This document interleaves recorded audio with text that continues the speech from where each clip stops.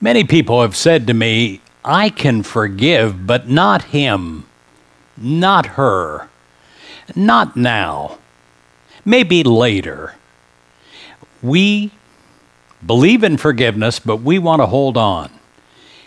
But what we don't realize in holding on, we're holding on to a poison or a knife and we're hurting ourselves, not the other person. When we forgive quickly, we forgive ourselves. We free ourselves up. I'm urging you today to forgive quickly, freely, and easily. While speaking of love and judgment, Jesus said this Forgive, and you will be forgiven.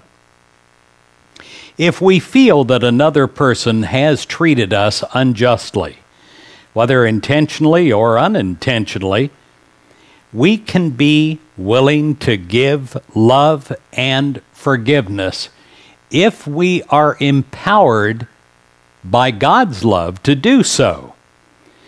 And we will be willing to become an open channel of God's love, forgiving and receiving forgiveness.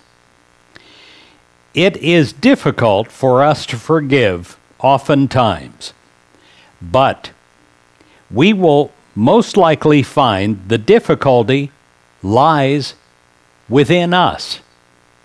In our efforts to resolve the hurt feelings, in our efforts to resolve the resentment, it is vital to our own spiritual unfoldment to forgive quickly and freely and easily as open channels for forgiveness, we don't harbor any ill will against anyone. We immediately release any negative feelings that may crop up and we supplant them with feelings of God's love. We allow ourselves to be filled to overflowing with God's all forgiving love and a healing a restorative quietness fills us from the top of our head to the bottom of our feet.